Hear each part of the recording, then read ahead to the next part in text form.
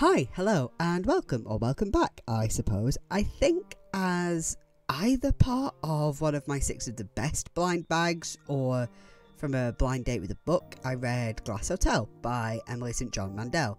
It's a great book, and I remember thinking I'd like to read more from her. It was one of those where I had the audiobook alongside the physical book. I knew it was literary fiction, and I also knew it was containing a lot of stuff about like intricate financial details, or I assumed it would. I knew that there was stuff about a Ponzi scheme in it, and I can sometimes just need a little help with focusing and taking it all in, so I listened to the audiobook and read the physical at the same time. And I have listened to the audiobook a couple of times since because it's not one that I got on BorrowBox, it's one that I got on Audible when I was using that a bit more regularly. Listened to it a couple of times since. It's still a great book, though, I'll be totally honest with you. Subsequent listenings, I guess, would be more the same readings, but they've been a lot more passive. I have not been as into it, but I did do the same this time with reading and listening at the same time. I usually wouldn't mention it, but it does come up a little bit later on.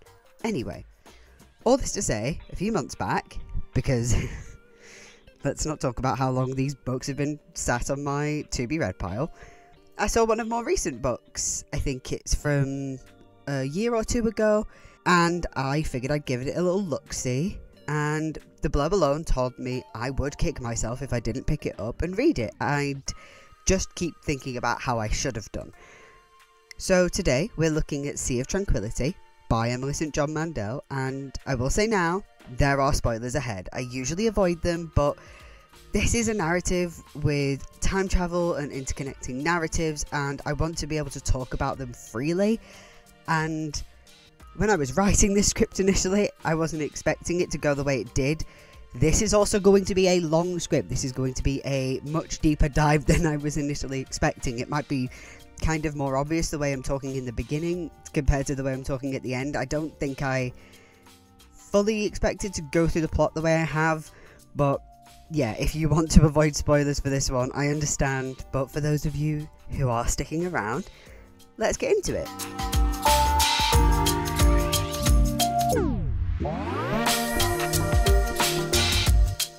So, this book follows four different people. Well, it's really following one person, observing the rest, but for the sake of keeping things simple, we're following four people. We have Edwin St. John St. Andrew, usually just Edwin St. Andrew, Mirella Kessler, Olive Llewellyn, and Gaspery Jacques Roberts. All from different points in time, but they are all interconnected. Now, in Mirella's case, it's more that we're following her because she's tied to someone called Vincent, who does happen to be from Glass Hotel. There's. It is hard to explain, but there's an event at four points in time in two physical places, all happening at once. It's better explained within the narrative, but it's still also hard to explain it succinctly, as I was trying to do close to the beginning. But you will see references to it later on, so don't worry about that. I'll leave it that you. Uh, I'll leave it at this. At its core, there's an anomaly in time, and there is an institute trying to figure out what's causing that anomaly. And that's the most basic rundown you need for me to be able to start talking about this and I was like, oh, I'll explain anything else as I go, not thinking I was going into like huge amounts of detail. We are going into detail, so maybe I didn't need to do that, but it can be still a bit useful to have a quick rundown from the start. But as you know, if you've seen any of my videos before, I always start with talking about the initial quote. The initial quote, the initial line, anyway. Edwin St. John St. Andrew, 18 years old, hauling the weight of his double sainted name across the Atlantic by steamship, eyes narrowed against the wind on the upper deck. He holds the railing with gloved hand, impatient for a glimpse of the unknown, trying to discern something, anything, beyond the sea and sky. But all he sees are shades of endless grey. Now it's beautiful, a lot longer than I was expecting, especially for an open line. And look, I'm not the sort of person that's like everything has to be quick, zippy, eye catching. But I'm always surprised when something goes on this long for the opening line. It definitely does set certain it'll it'll turn some readers away, I think, but that's fine. it's never going to turn me away. It's always just, I think it's more that like you wouldn't necessarily notice it if you are just reading, but when you have to write out things like that every time to get it in notes and scripts and things like that, you always go, wow, that's there. There's a lot of punctuation that isn't a full stop in there. but I think that I don't have many complaints about this book to be honest, but Edwin doesn't really seem like he's only 18, and that makes sense for the later parts of the book. He has gone through a fair amount, which we will explore later. But I mean, there are aspects that make it clear that he's kind of young, but maybe it's because we're writing a historical figure. He's not an actual historical figure, but a, an upper class person within history, it's a bit tricky to find that balance between somebody who feels time wise older and somebody who still is young. But I mean, this is going to make me sound like a bit of a nonce, I'm aware of that, but Edwin seems very mature for his age. and the other thing is, and maybe I either missed a reason for this or I missed a couple of other sort of mentions around this, but he's pretty much only Edwin St. Andrew for the entire rest of the book. I don't remember him being, as Mandel puts it, double sainted at any other point. It's not a major issue, but if that's your opener, I think consistency could be good. But honestly, that's about the only critique I have for this book, so let's really get into the good stuff. So, for Edwin's section, we're in 1912 and he's effectively been shipped off to Canada by his like rich toff dad for being like maybe India would prefer it if their colonizers weren't around and according to Daddy Dearest you know the bare minimum respect of brown people isn't okay so off he goes to Canada but you know despite being as he occasionally has put it exiled he's still basically just on a big old holiday. And Mandel captured just really nicely that particular type of man, that kind of Etonian from a long line of other Etonians. Probably would have been at Oxford or Cambridge if he hadn't been shipped off. Bear in mind, he is 18.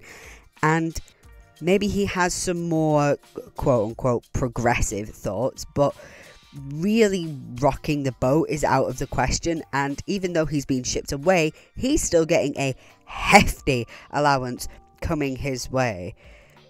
Though it is objectively quite funny that he's paid a higher allowance than his brother exclusively to keep him out of England.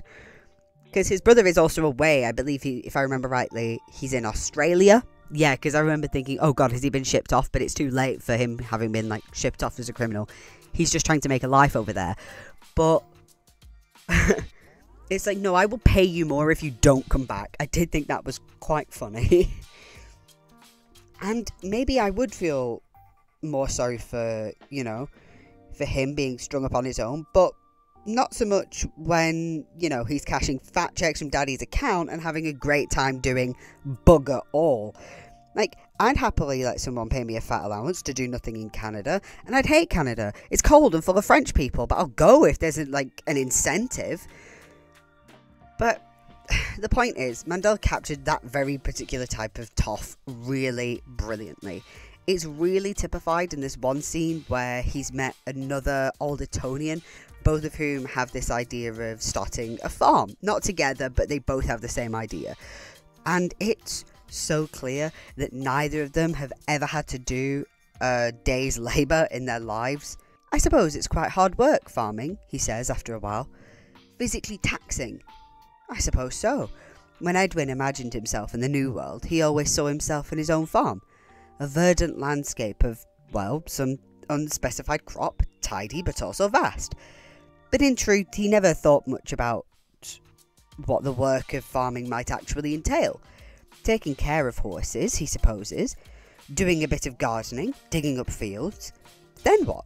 What do you actually do with the fields once you've dug them up? What are you digging for? I just think that works perfectly. Of that, oh, I have this idea of owning something, but you know that the only way they will keep that land alive is through other people's labour because there's no way they're going to get off their arse and do it themselves. And I will say, this opening chapter does feel a little slower than the others, but I was still really into it. And it's basically when we get towards the end of the chapter where we see the first sighting of the anomaly that things do start to pick up. It's very clear that this is a character driven narrative, which is my personal preference. And at this point, we are just following the jaunts of an early 20th century man gallivanting around Canada, just having a pleasant time. We haven't got to the weird stuff yet, so it does feel a little slower, but that's not a bad thing at all. And the ease of reading, despite pace, is really bolstered by Mandel's slightly unusual writing style. It depends where we are in the book as to the frequency of this, but Mandel loves a scene break and she loves her short chapters. So even when the narrative is slower, we still have the effect of movement. In some of these early chapters, we have scenes as long as you might expect a regular paragraph to be, and I do really dig it. And as he's on his Canadian travels, he lands in a tiny village called Caiette. And it's while here he ends up in the woods, not particularly by choice, but that isn't necessarily the important part. So at the entry, we get this gorgeous passage, even if it is a little haunting. He keeps walking, and then, at some distance, still feeling their eyes on his back and wishing to convey an impression of having some sort of important errand to attend to, he turns towards the wall of trees. He never goes into the forest because he's afraid of bears and cougars, but now it holds a strange appeal. He'll step in a hundred paces, he decides, no more. Counting off a hundred paces might calm him, Counting has always calmed him, and if he walks straight for the 400, then surely he can't get lost. Getting lost is death, he can see that. No, this whole place is death. No, that's unfair. This place isn't death, this place is indifference. This place is utterly neutral on the question of whether he lives or dies. It doesn't care about his last name or where he went to school, it hasn't even noticed him. He feels somewhat deranged and it's in this forest he finds a maple tree and from that moment this book becomes markedly different. This is where we first see the anomaly and where we first meet Gaspery. He's in the woods with Edwin asking about what he just saw. He's also in priest getup and continues questioning Edwin at the chapel. He also bolts the moment the actual priest comes in. it's it's it's somewhat comical where he's like, no, no, the priest, the, the real priest. He doesn't say it like that, but it's like the, the regular priest. He's away. He's on business or something. He's he's on on a boat. I think is what he said.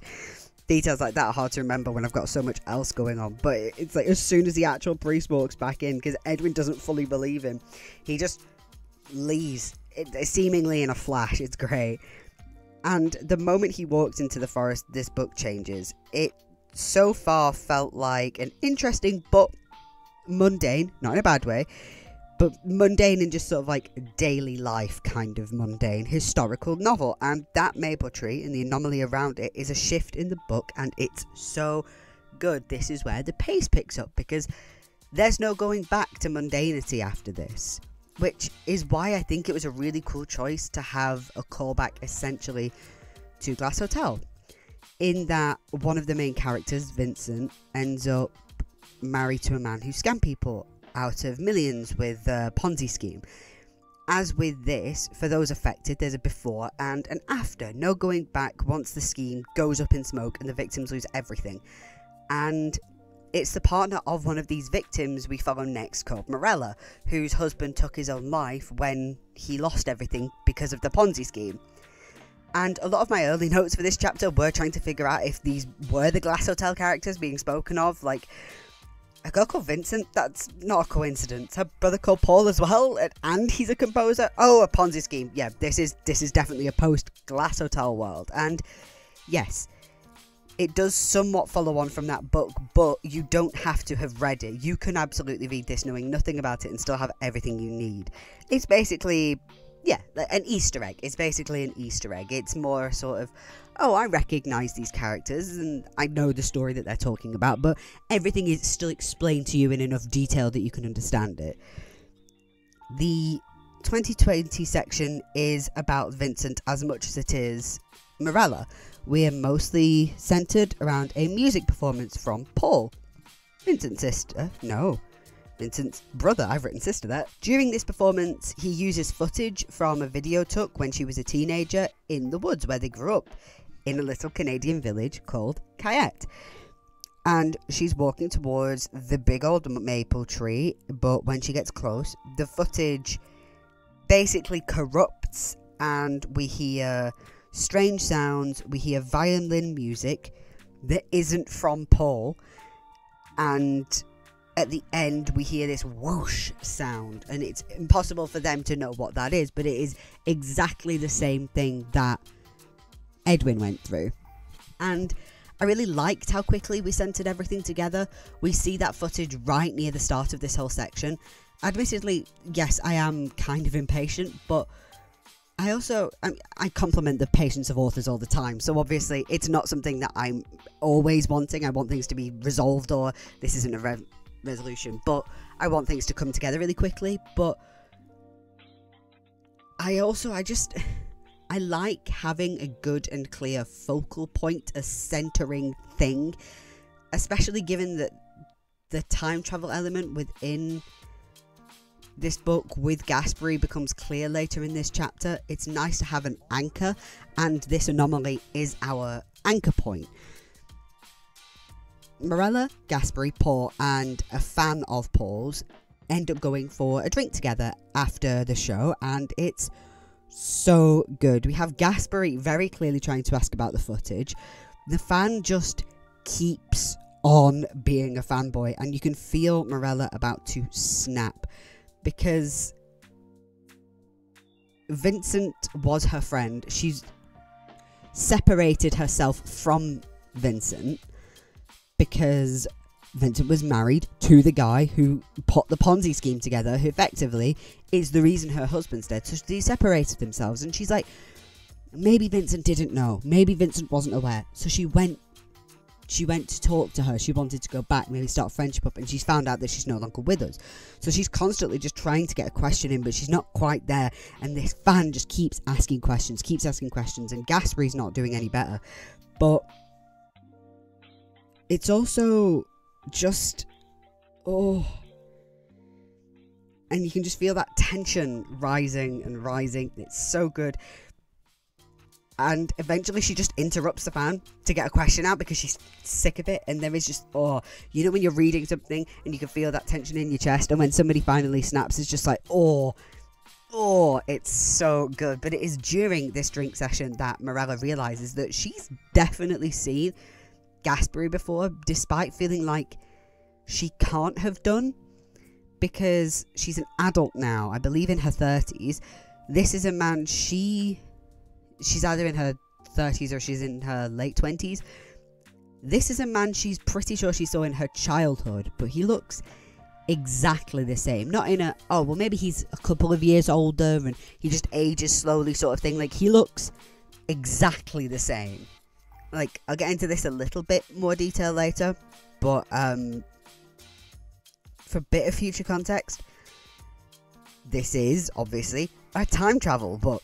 At the time of Paul's performance and this drink session, Mirella has seen Gaspery before.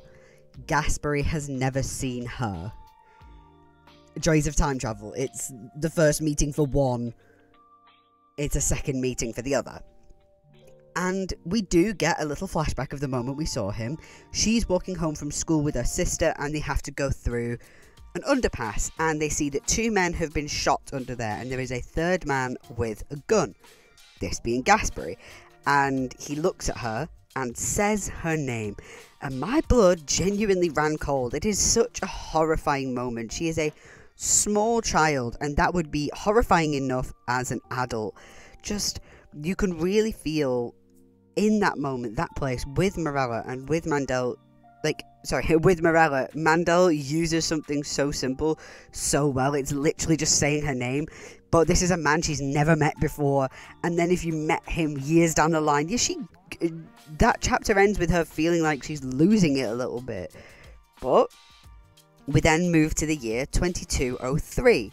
Oh, and by the way, the we are in 2020 in that last section. I don't think I mentioned that we're at the start of 2020. It's January, so the pandemic is on its way, but it's not lockdown or anything like that yet.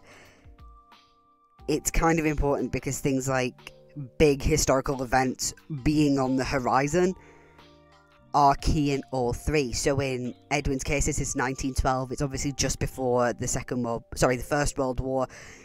In the case of where we're with Mirella and Vincent and everything, that was just before the pandemic, months before lockdown, and that is going to be the same in this section as well. So in 2203, we're following author Olive Llewellyn.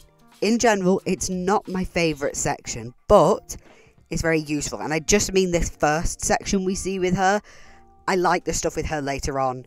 It's just this first time we see her. It's it's by no means bad. It just doesn't stand out in the way that many of the other parts did, but there are things to know, so I'm just going to do a quick rundown of them. So, one, we established that by this time moon colonies are a thing, and I'm pretty sure by this point people are already branching out further than the moon. If not by this point, then that's a thing that's going to be starting to happen soon. Two, Olive is someone who writes about and does lectures on pandemics. She is a fiction author, but pandemics still play a part in the th- stuff that she talks about. And it's especially prevalent because, as we're seeing her, cases are emerging. We're seeing the early stages of something about to break out. They're at that January 2020 level. If we're not locking down yet, maybe we should be taking some precautions soon, sort of thing. Three, she is currently on a tour to promote her latest book. She's on Earth, though she is on. She lives, and I believe she said she spent a lot of time on one of the moon colonies, and that's where her family is as well. Four, she's got a publisher called Loretta. She comes up again later, even if I forget to bring it up. I think I remember to put that in my script. But her publisher Loretta is important, and I really like the way she was used. Five, she previously wrote a book called Marienbad with a character called Gaspery Jacques, who we later learn effectively has a scene in her book. I can't remember if it's Gaspery Jacques that actually has a scene, but it's in that book where there is a scene that is effectively the opposite side of the maple tree anomaly, going from one place and then seeing the maple tree rather than the other way around. And six, she's doing interviews for this tour, and her final interview is, of course, with Gaspard. And in this interview, we have a moment where Gaspard asks about that scene in her book. Her gasp, her Gaspard, or who, whichever character it is, is in a place called Oklahoma City Airship Terminal, which, for a bit of context, is basically where you would get from to get between Earth, the Moon, any other colonies later on. I'm not sure again if this point they're already on other places, but they're, they're the space travel points, the airship terminals. But she feels like she'll sound too sort of eccentric if she is on the record, but she's happy to answer his question off the record. He obliges, and that's how we end this section. And then we go to the year of 2401, and I went from, yeah, I'm having a good time with this book, I'm enjoying the experience, to I was desperately trying to put the pieces together. I genuinely might have felt a bit like a conspiracy theorist, but I I genuinely was like this was the point where a lot of my notes started to become oh wait but what about this and does this make sense and I bet that's what's going to happen. This is Gaspery's chapter and I was immediately really excited for it. I was seeing pretty early on that it was looking like Mandel was doing a good job with keeping a timeline straight and keeping it easy to follow. And that only continues as the book goes on. It her work with keeping timelines straight and making it so a reader can keep up with it, even a reader who's not necessarily good with that sort of thing, i.e., me, I think it's incredibly commendable in any time travel fiction. And I knew nothing in this early part of this section just how well her timeline fits together. I genuinely am in awe of it. We do learn that he was named after the character in Oliver Llewellyn's Marienbad, as it was his mother's favourite book. And I did wonder, like, which way round that would be. Had she seen his name somewhere and used it, or was it this way round? And it's little details like this that work so well. Would he do what he did in the interview if not for the connection with his mother? Like, that felt like the kickoff for a lot of other stuff, and we'll get to that later on. And it's not necessarily a guarantee that that's the case, but we have a lot of interconnected stuff. So I haven't spoken about it much, but we do learn that while his mother was in hospital as she was dying, she spoke about the fact that maybe we're in a simulation, and that is a huge part of what the Time Institute is researching in regards to this anomaly. And then we have the connection to Marienbad and him meeting the woman that created that, the woman that created the book that gave him his name. But we'll get to what happens in her interview relatively shortly. Obviously, we're later in the timeline. But like Oliver Llewellyn, Gaspery was raised in Colony 2, the second off Earth colony on the moon. In fact, he grew up down the road from Llewellyn's former home, donned with that kind of blue plaque. I don't think it's called a blue plaque in this, but it's effectively the same sort of thing. In that house, for a while at least, I think for a few months, is a girl of Gaspery's age called Talia. He can see that there's something off about her family, but it won't be until his adulthood that he finds out just why they're so vacant all the time, never seeming like they're fully present. And while Gaspery's time with Talia is short in their younger years, they do regain contact as adults. Gaspery moves to Colony 1, where he gets a security job at the Grand Luna Hotel, where Talia is in a kind of HR type role. And it's a steady job, nothing too interesting. He's on the 9 to 5 type, day in, day out life. Things aren't bad, but there's nothing. There's no interest, really. And then he gets a call from his sister, Zoe, a call that changes everything. She works at the Time Institute, and I will say there are little hints in Llewellyn's chapter mm-hmm. th- about the institute being built. It's never explicitly brought up that that's what they're talking about, but it's very clear. Anyway, Zoe works at the Time Institute and asks him to meet her there. She shows him a clip from Paul Smith's show, the section with Vincent's footage. Now, like I said, this section with Gaspery set me off on my conspiracy stuff. But when the concept was brought up, I thought, oh, this was going to be like a cause and effect type thing. I thought Gaspery, she was going to see him on that footage.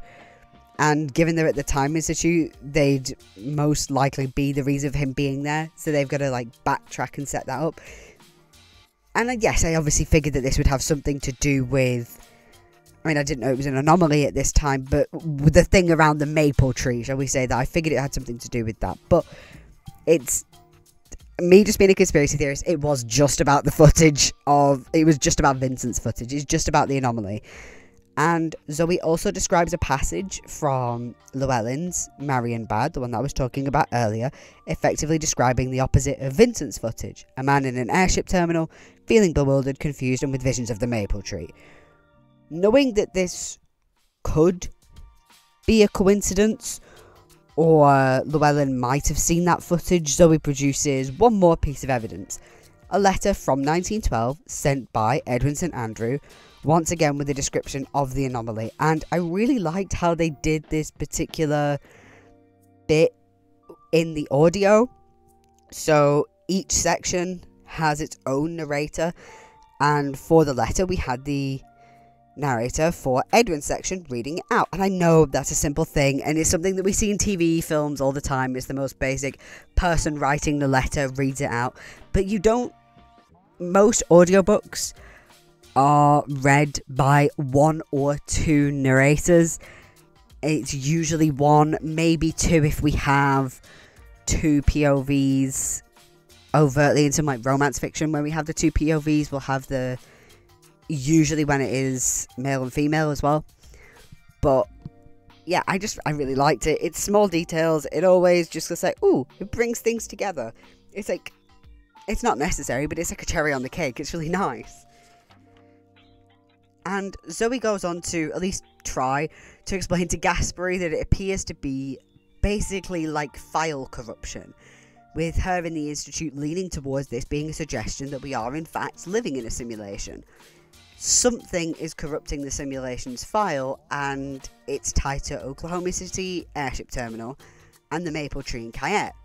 And while Gaspery isn't a complete idiot, he does have a certain energy about him in this scene where I'm reminded of any given conversation with my brother where he's talking about like mathematical type stuff or computer stuff and numbers and abbreviations just they will forever be a mystery to me. And whenever he's talking to me it feels like my brain is just filled with static. It's a really nice depiction of that. It's like i'm not an idiot. Not completely. But if you give me some things that I can't, I just can't wrap my head around, it genuinely feels like my brain is rejecting it.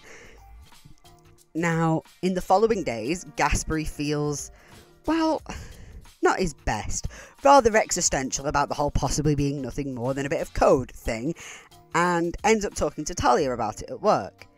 Side tangent, they bring up that there's a colony or colonies on Titan, and I was just like, I know nothing about space. Not really. Why is Titan always a visitable or habitable location in sci fi? I know it's not currently one of those things. And I mean that in just the term of we can send a human being there. Like, we can send a human being to the moon, and that's about the only place we can send a human being outside of Earth by now that is a location. It's not just on the space station, sort of thing. So I was like, is it a bigger moon? Like one of those is basically a miniature planet. And I, throughout my university, at least through my undergrad, had a long suffering flatmate who I'm pretty sure their degree was uh, a four year master's in interplanetary physics, looking at more like what's going on at any given space body rather than looking at the space stuff itself. That's probably not quite right, but in my defense, she has a big brain and I can't be expected to understand her deeply complex degree. But I asked her, big brain that she is, and according to her, Titan is, and I quote, big, big boy, only moon with a big atmosphere, has liquid on the surface, and is very, very cold. So, while not currently habitable by human beings, it does make sense as to why it's a sort of sci fi stalwart. Anyway, I got distracted by that and I figured I would take you on my journey. Back to the book itself. Later, he's talking to his sister about the idea of being the one to do the travelling and figure out what's happening. Though his sister is more than a little reluctant to let this happen.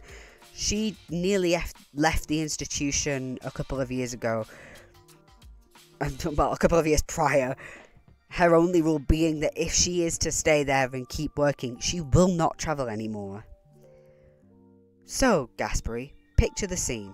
You step into a party at some long ago point in time, and you know how and when each and every person in that room is going to die.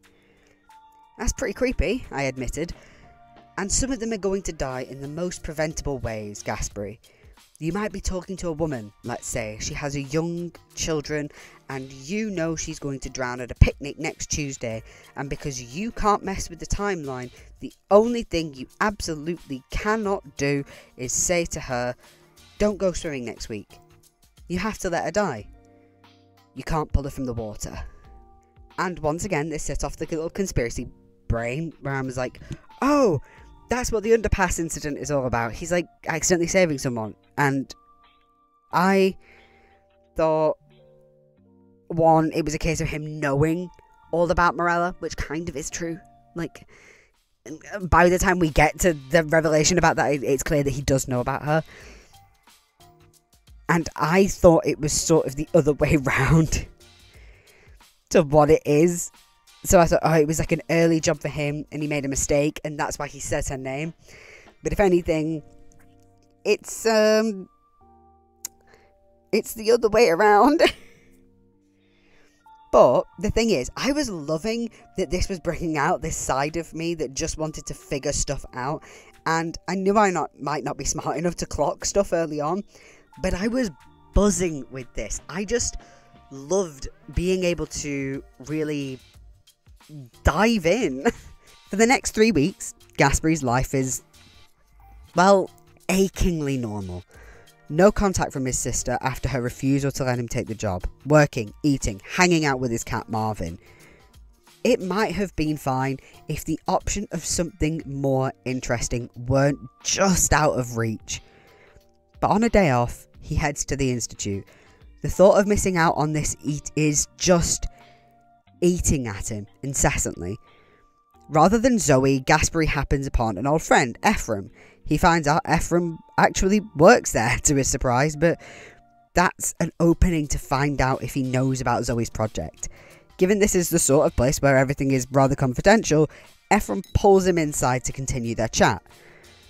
Before they really get the chance to talk, Zoe is in Ephraim's office. It's painfully clear that she does not want her brother taking this job, but Gaspery will try nonetheless to at least get Ephraim on side.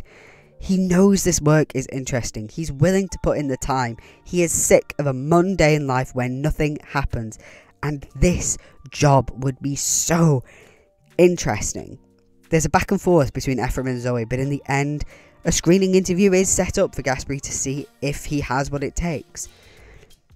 But if it called for a celebration, why was my sister speaking so little? Why did she look so grim? A troubling line of work. Look, I wanted to tell her as Ephraim ordered three glasses of champagne.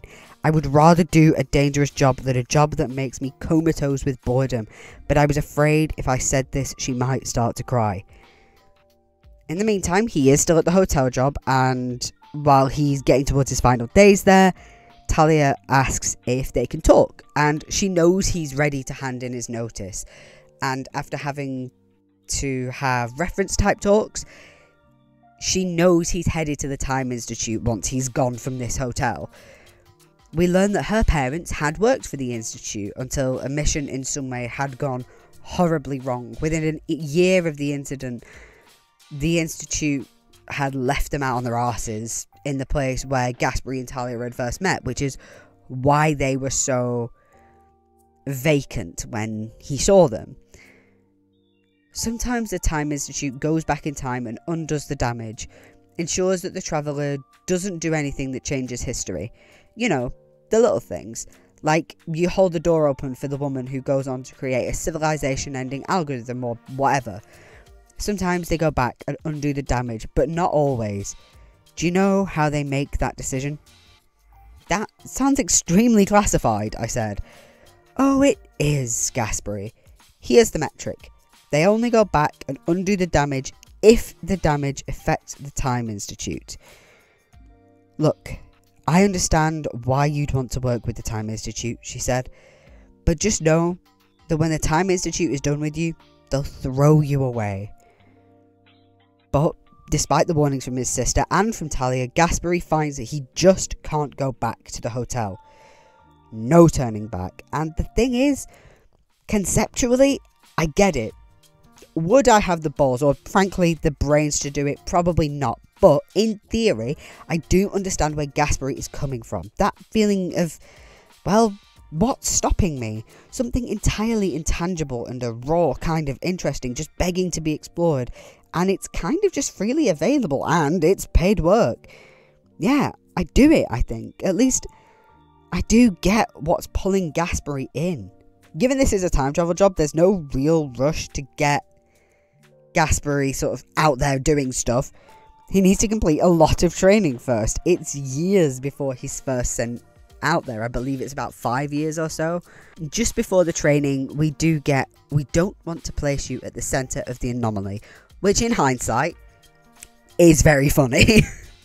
before, and I mean literally as his body is being prepped for his first mission, we learn that Zoe was the one that gifted Marvin the cat to Gaspery. We also learn that Marvin started his life in 1985. But thanks to problems with an Institute member, he's now 416 years in his future.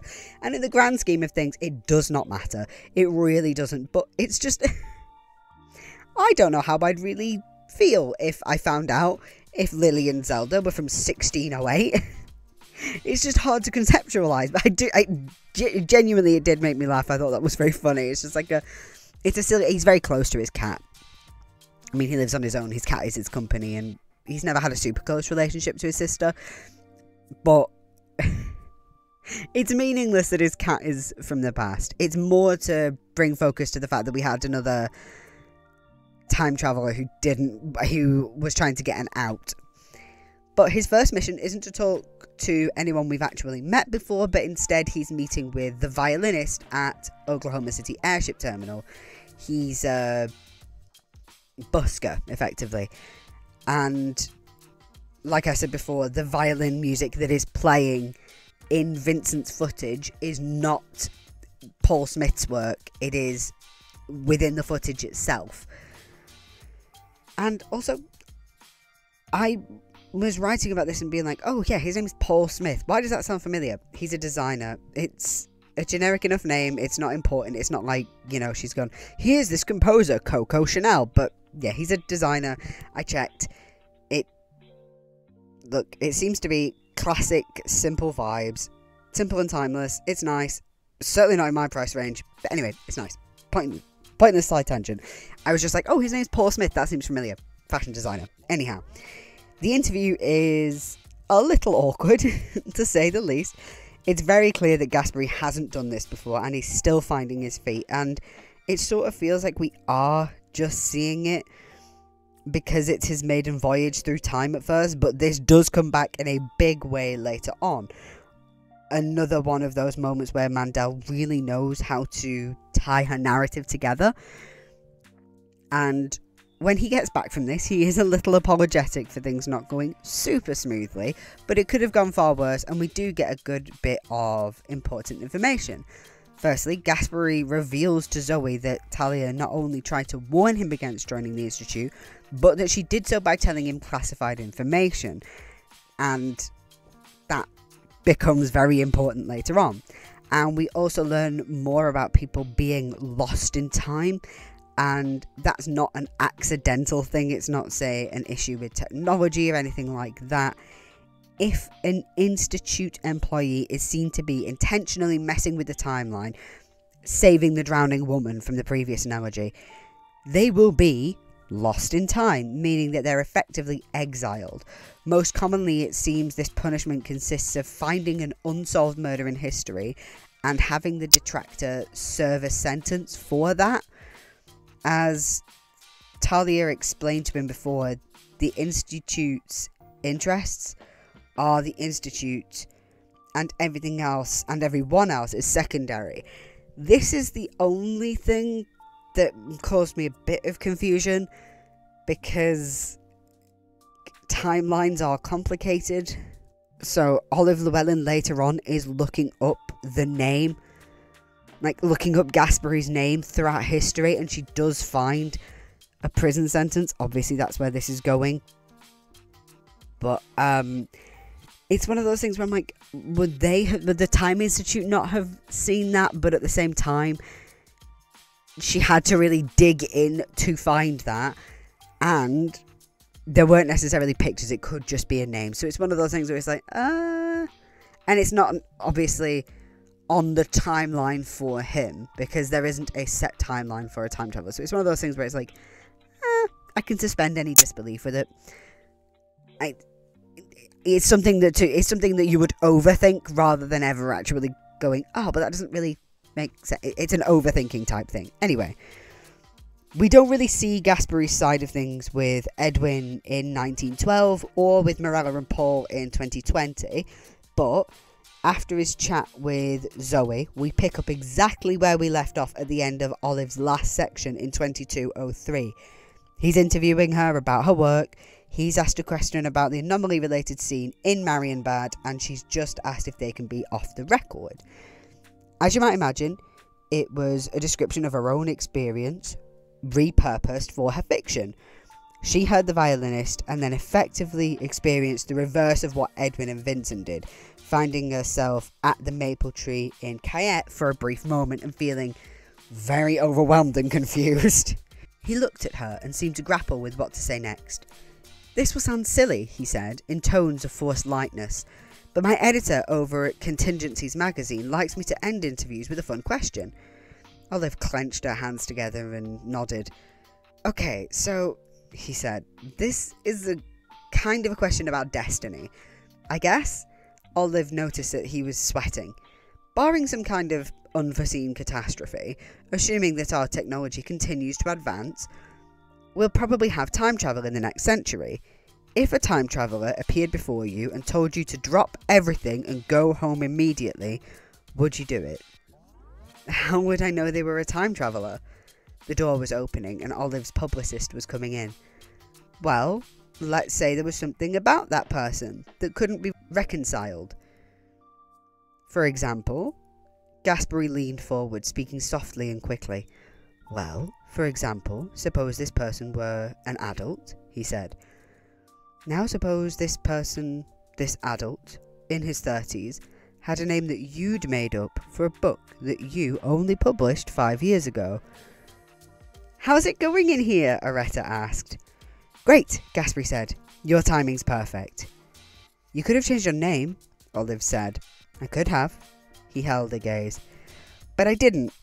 His tone brightened as he rose. Olive, thanks so much for your time especially that last question. I know fun questions are the worst. And oh baby, look, the foreshadowing wasn't exactly subtle. This was happening somewhere along the line, but she brought it about so damn well. He's telling her to head home because in the quote unquote correct timeline, Olive is supposed to remain on Earth for a few more weeks, finish her book tour, there's the pandemic starting out as she's starting this tour. By the end, she's supposed to be dead because of this new virus, this pandemic that's starting. She's the drowning woman, and despite everything, Gaspery's humanity prevailed over what the Institute wants. He had to save her, and he does too. She cuts the tour short and she heads home straight away back to her family. It's also brilliant work with Olive's publicist, Areta, coming in. It doesn't seem like anything. It just seems like she's coming in to check on him.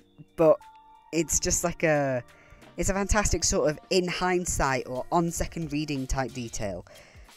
We learn later on that Areta is another agent at the Institute. Gaspery knew there would be other people on this case. He knew that, that he would not know who they are, but he went ahead with his actions anyway.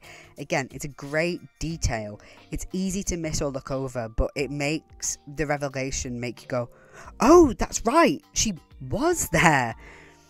And Olive is very quick to act. It isn't a case of, oh, I should get my stuff, go home, sort of that. She just leaves her stuff at the hotel and just gets home. It's literally just airship terminal, phone home, tell her husband to take her kid out of school, and when she gets home, she's riddled with fear, which isn't exactly unreasonable. She wasn't explicitly told about what was quote unquote supposed to have happened to her, but if a time traveler comes to me and tells me to go home immediately to save myself, I'm having a week long panic attack. She ends up in a lockdown with her husband and young daughter. She still has to do her lectures and her interviews, etc., but it's all virtually, we know how we know how all that works but rather than using teams or zoom or anything like that it's done more virtual reality and hologram style. She's not allowed to leave the house at all apart from for medical appointments. No hour long walks for exercise and there are patrolling officers there to punish you for breaking the rules. I don't I don't know if they're patrolling like people officers or if it's anything more sort of automated but there are patrols coming round but Olive needs a break, and occasionally she sneaks out just to sit under the tree outside of her house, which isn't even allowed. From her hiding spot, she sees him. To her, he's just the journalist that sent her home. Might not have been lying about being a time traveller either. He's not alone though. She won't know this, but we can see that he's with Zoe, and it's very clear he's in trouble. I assumed he may well be lost in time right here and now, but that's not so. Still, he's not out of the water just yet, and Zoe is pressing him to come home. But she gets it. She's clearly scared about the consequences of his actions. She's his older sister, for God's sake, but their conversation isn't long. Patrol is on their way, and in an instant, the two of them are gone.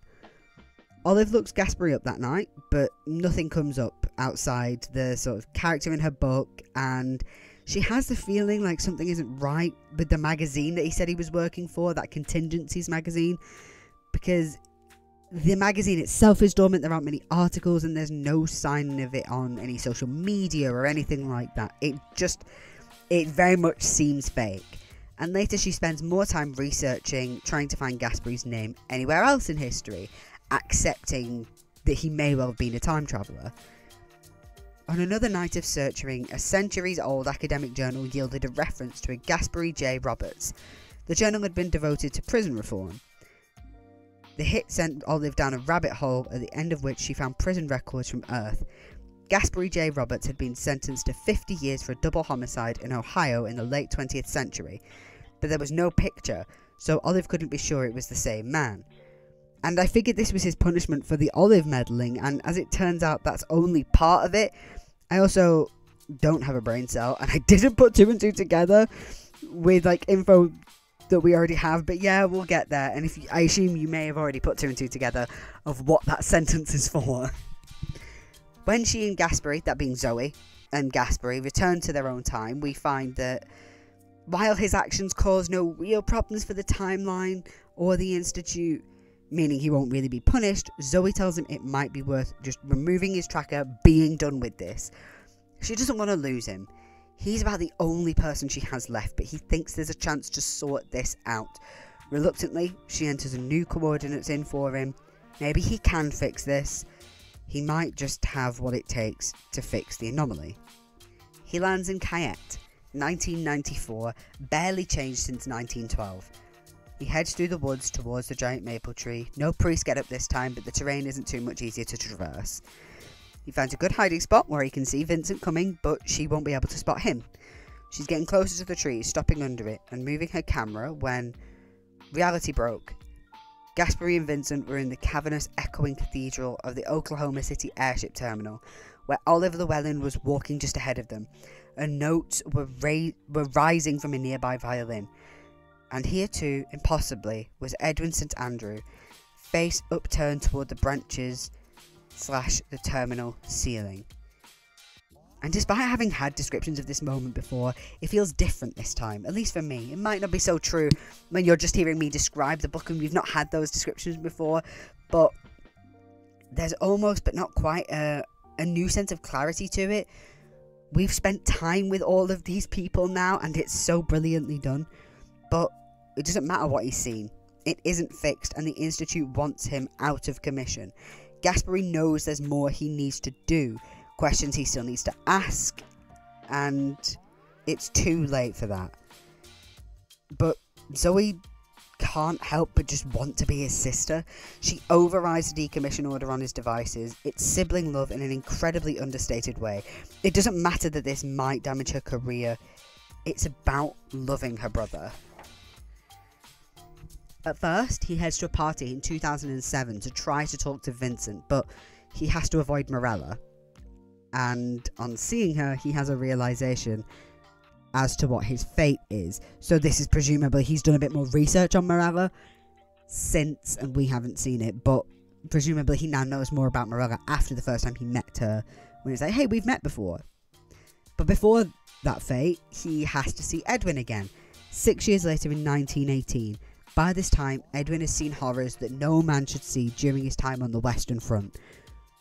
He goes to the garden one day and looks towards the bench only to see a man that he was certain he'd hallucinated. And who can blame him? If I saw what he did in Caiette, followed by his strange interaction with fake priest Gaspery, I'd assume I'd lost my mind too. Now, Gaspery explains to Edwin that it wasn't a hallucination, but for me, it feels like it would only cement that I wasn't sane, but hey, it works for Edwin. He just there's a particular way that he explains it that just feels a bit like, no, you totally weren't losing your mind, I promise. But this is another timeline alteration. Edwin was qu- quote unquote supposed to die in a psych ward. He ends up back at the institute, does Gaspery, knowing it'll be the last time.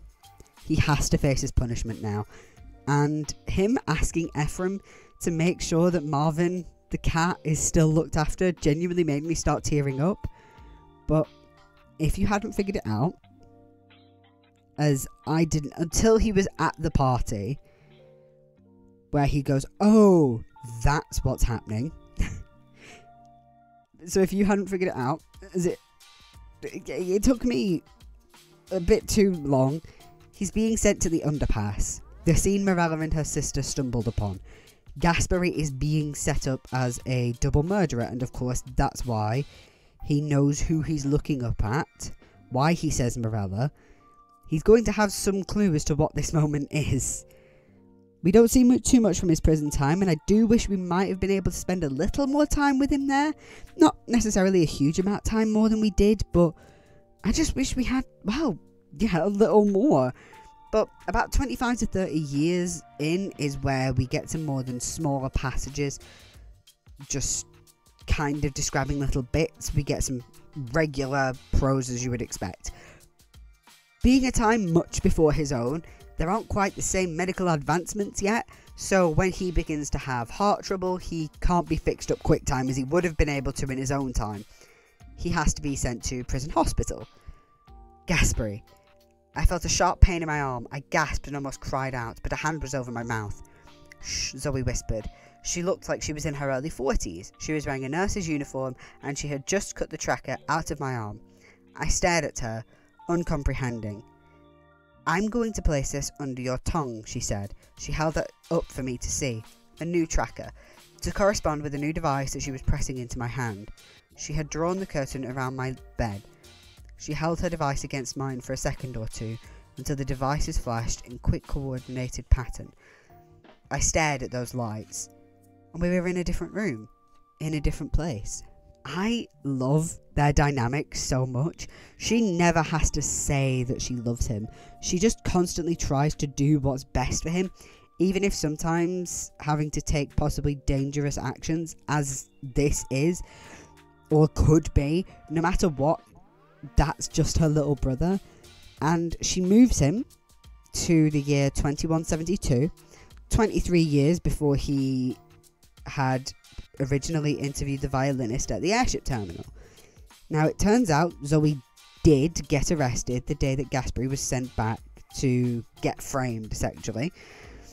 Given her clean record, she only served one year, and the Institute, it turns out, isn't the only one with the ability to time travel, as they believe is the case.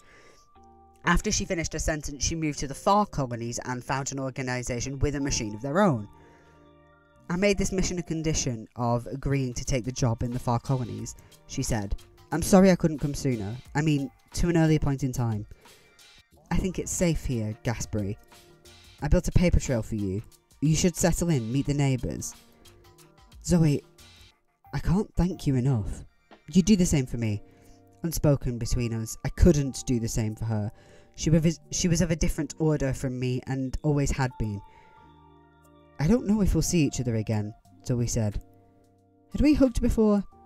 I couldn't remember. She clasped me close for just a moment, stepped back, and was gone.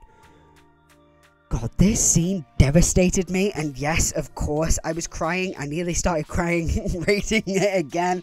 It's me. I am a crier through and through. And he's now a boarder at a farm property. And I like the similar feeling as with Edwin at the start.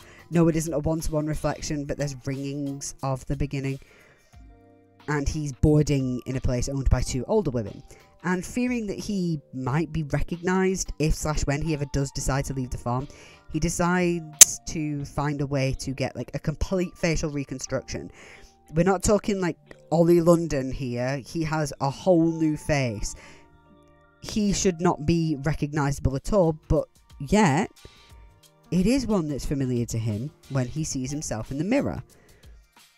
Soon after, he finds a violin, and I was just oh, that's brilliant. Everything is interconnected. Beyond the investigation, I had been wondering how Gaspery fit into the anomaly. Like, obviously, yes, he has been investigating everything, but there was just. There was no way he wasn't also actively part of it. He's been everywhere, and I think this being how he fits into it, not the investigation fitting into it, works so well. Also, obviously, that's why he recognised his brand new face he's met that face before. And one of the women he's boarding from tells him that he should consider venturing out beyond the house. He wouldn't have to go far, but effectively telling him to heed his sister's words and meet the neighbours. He does as he's told, and at about the same age as he is now, is Talia. It's been a little bit since we've seen her, so just in case you've forgotten, we first met Talia when they were kids. She lived in Oliver Llewellyn's old house, and they later worked together at the hotel, where she basically said, screw confidentiality, when warning him against joining the Time Institute. There was a reason Zoe told him to meet the neighbours. She not only knew Talia was there, but is the reason for her being there. After he gets back from the awkward interview, his first trip out, he told Zoe about the whole Talia telling him classified information thing. And it is said that, like, yeah, she was going to have had a talking to at the very least, but chances are she was going to get arrested for that. So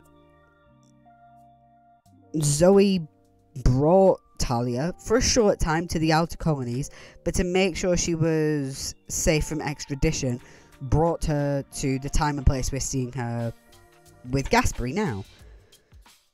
This is one of those books I could and maybe should read multiple times. Everything comes back and fits into place so well. Mandel has pure patience with her work, so many little moments coming back at the right time. Everything matters. It's excellent. And later, the two of them are married.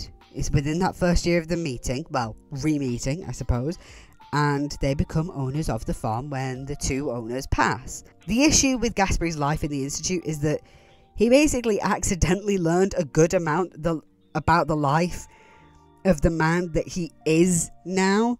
Both the stuff that Zoe made up so he has a paper trail and the, as it were, genuine stuff about the actual living man that is not Gaspery, as it were. He knows Talia dies before him, and he knows at some point after that he moves to Oklahoma City and starts busking. But knowing that doesn't necessarily make it any easier. And while I was wrong about 99% of my theories, or at least, you know, not quite on the mark, I did get this one. Around the time he went back to see Vincent and Caiette, just before he started following her into the woods, I wrote down in my notes something like, Is Gaspery the anomaly? And I was right. So, this whole anomaly the Institute was trying to solve, they basically created it by sending Gaspery out there to investigate. He's in too many places at once, as it were. It's especially prevalent that it's like there's two of them there at Oklahoma City at two point Oklahoma City Airship Terminal at the point of the interview. Olive is there too, hence why she experiences it. And obviously, he's been with Edwin and Vincent right when they experienced it. And this isn't just time stuff, remember, it's an anomaly in the simulation that we're all living in. That's what's gone, ah, too many Gasperys at once and caused all of this. It's kind of as if you try to name three files exactly the same thing, and somehow your computer let you do that, and then you try to play any of those files, it probably wouldn't because it would go, wait, but that's that, and do you want this file or that file? And it, it's all too much at once. He couldn't handle it, and it all just falls together so beautifully, ending with our older Gaspery, the violinist busker. It ends with his side of the initial interview. It's just an incredible piece of fiction. I picked it up kind of offhandedly, a case of going, yeah, I liked Glass Hotel, and this story does seem interesting. I'll give it a go, and it's blown me away. It was so easy to get invested in, even with that opening being slower than the rest of the book. I love the way the story grows and calls back to earlier moments, making everything fit and make sense. I was able to get my conspiracy brain on. And look, I might have been wrong the vast majority of the time, but just the act of going down the rabbit hole with this book was enough. If I had the time, I'd absolutely read this multiple times to see all the little things I missed or didn't remember where they came back up because obviously I read stuff, took notes, but to create a script like this, I've had to properly go back over the book to put a timeline in place, and there was stuff that I picked up, like with Aretha coming in to the interview. I hadn't quite remembered that in the first place. I was just like, oh yeah, that was her publicist. Oh, that's a really cool detail. It was so much better in hindsight. Like, this wasn't supposed to be such a long script, but as I started, I realized there was no way I could have condensed my thoughts about this at around the same time that this is coming out. I will have a short review of it, and it's just going to look so weak in comparison to this. But thank you for sticking with me on this journey. I have still managed to make this video shorter than I expected, so I hope you had fun. Tell me what books you've read that had you feeling like a complete conspiracy theorist about the plot. I love more rabbit holes to fall down. I think I have. I have three more library books to read. I thought I only had two. but you're getting more videos than that. I am still scripting a long Badret book club, but hopefully I can finish these borrowed books soon. I am considering sending some back to my friends and just being like, it's fine, I'll read them at some point in the future. But anyway, feel free to like, subscribe, put your notifications on, and all that other cringe shit I'm supposed to ask you to do. I hope you have a wonderful day, a wonderful night, a wonderful whenever you are watching this. Take good care of yourselves. Right.